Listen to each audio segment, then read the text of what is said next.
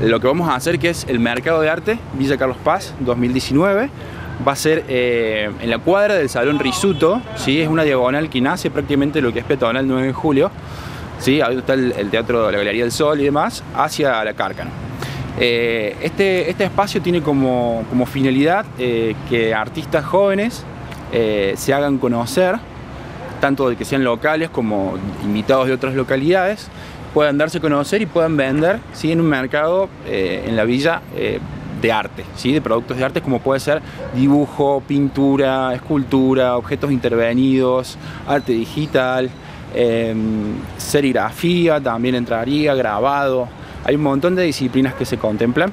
Y bueno, lo que queremos decirles es que ya somos 14, digamos, los artistas que vamos a estar eh, para la primera edición del 11, pero queda abierta la convocatoria para el 18 y para el 25, que son los otros dos viernes donde vamos a realizar esta actividad. A partir de las 18 hasta pasada la medianoche. ¿Cómo surgió esta idea? Esta idea surgió porque, bueno, eh, creo que Carlos Paz es una ciudad que, tiene una gran cantidad de artistas, eh, ya sea en la danza, en, las artes plásticas, en la música, y eso crea necesidades eh, de encontrar espacios que a veces la ciudad tiene y que justamente esos espacios no están 100% utilizados.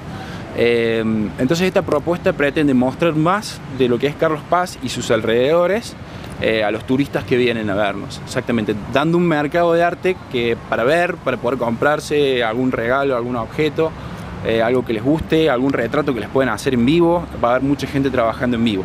¿Son artistas de Carlos Paz? sí, la mayoría son de Carlos Paz, pero también hay artistas invitados de otras localidades, de La Plata, bueno, de Bariloche, eh, porque también queremos generar ese intercambio entre, entre artistas de otras localidades.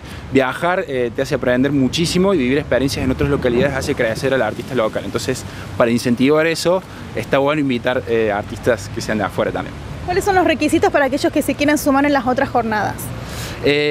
Bueno, será tener algo que ver con las artes visuales, ya sea fotografía, dibujo, pintura, escultura, grabado, arte digital, serigrafía, creo no olvidarme de nada, arte textil eh, mosaicismo, eh, cualquiera de esas disciplinas, mientras sea un producto que, no, que sea una manufactura, es decir, sea, eh, tenga un, nivel creativo, hay, también una comisión que evalúa los trabajos y tienen que enviar los tres, tres fotos de tres trabajos al mail brosinfer con z brosinfer 2017 arroba gmail.com o por WhatsApp al 3541 569 962 me envían ahí toda la info, eh, los datos personales por supuesto, de dónde son, nombre, apellido completo, DNI y fotos de tres trabajos para que podamos evaluar. ¿sí? Ahí mismo le, damos toda la información de cómo es la feria, cómo funciona, cómo es la organización, pero bueno, tienen que enviarnos primero los trabajos.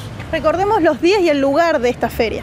Bien, los días va a ser el primero el viernes 11, el lugar es Avenida Cárcano al 0, del 0 al 75, que el 75 es la puerta del Salón Risuto. Vamos a estar en la vereda, es ahí donde se va a desarrollar el mercado de arte. Y eh, desde las 18 hasta las 0 eh, horas aproximadamente.